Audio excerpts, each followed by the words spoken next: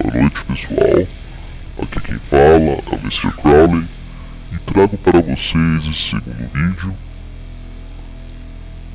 trazendo uma história um tanto intrigante, uma creepypasta que se é verdade eu não sei, se é mentira eu não sei, só sei que nada sei.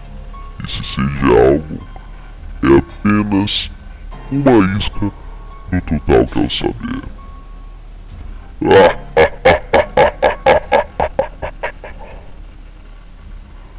Os pais de uma pequena garota havia saído e por isso estava sozinha em casa apenas com seu cachorro para proteger. Quando a noite chegou, ela trancou todas as portas e tentou trancar todas as janelas, mais uma, só uma, se recusava a se fechar. Ela decidiu deixar a janela destrancada, até pensou em se refrescar e então foi para a cama.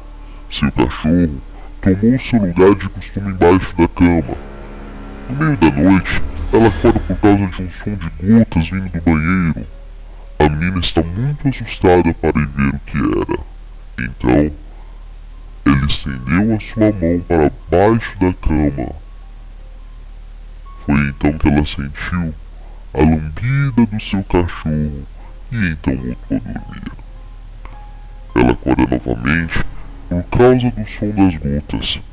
Estende sua mão para baixo da cama sente a lambida do seu cachorro e volta a dormir.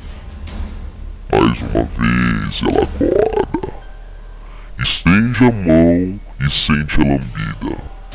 Agora curiosa, sobre o som das gotas ela se levanta e lentamente anda até o banheiro. O som dos pingos foi ficando mais alto de acordo com que ela se aproximava do banheiro. Ela chega no banheiro Vendo isso, ela é recebida por um horrível sinal. Pendurado no chuveiro, estava o seu cachorro, com a garganta cortada e o sangue caindo na banheira. Alguma coisa no espelho do banheiro chamou sua atenção. Ela virou. Escrito no espelho com sangue, com sangue do seu cachorro, estavam as palavras. Humanos também sabem lamber.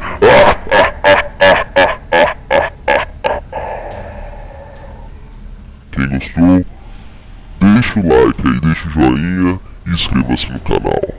Muito obrigado e até a próxima.